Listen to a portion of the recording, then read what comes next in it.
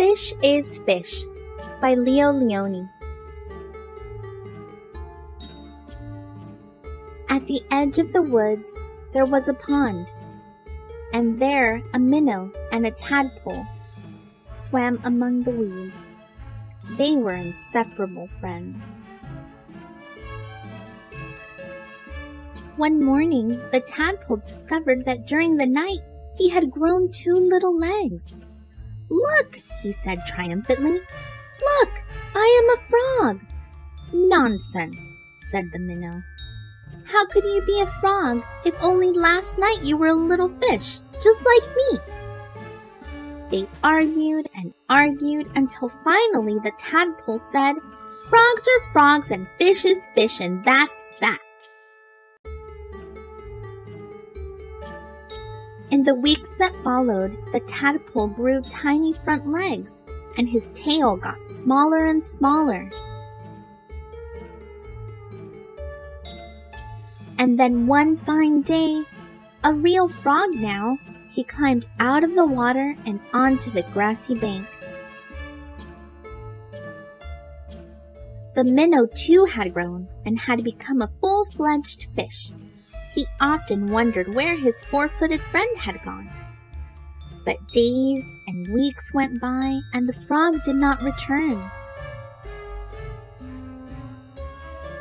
Then one day, with a happy splash that shook the weeds, the frog jumped into the pond. Where have you been? asked the fish excitedly.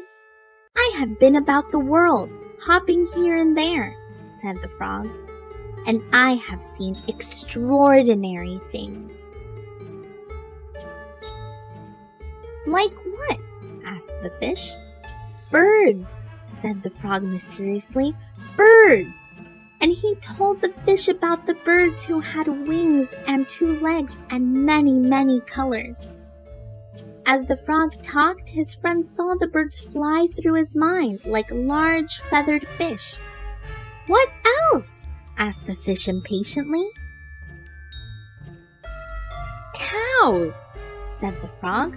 Cows! They have four legs, horns, eat grass, and carry pink bags of milk.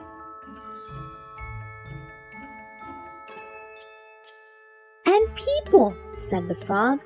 Men, women, children. And he talked and talked until it was dark in the pond.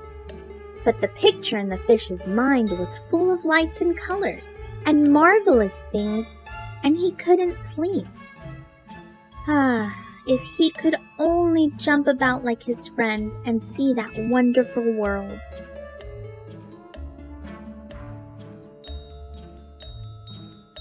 And so the days went by. The frog had gone and the fish just lay there, dreaming about birds in flight grazing cows, and those strange animals all dressed up that his friend called people. One day he finally decided that come what may, he too must see them. And so with a mighty whack of the tail, he jumped clear out of the water onto the bank. He landed in the dry, warm grass and there he lay gasping for air, unable to breathe or to move. Help! he groaned feebly. Luckily, the frog, who had been hunting butterflies nearby, saw him and with all his strength pushed him back into the pond. Still stunned, the fish floated about for an instant. Then he breathed deeply letting the clean, cool water run through his gills. Now he felt weightless again, and with an ever so slight motion of the tail, he could move to and fro, up and down as before. The sun rays reached down within the weeds and gently shifted patches of luminous color. This world was surely the most beautiful of all worlds.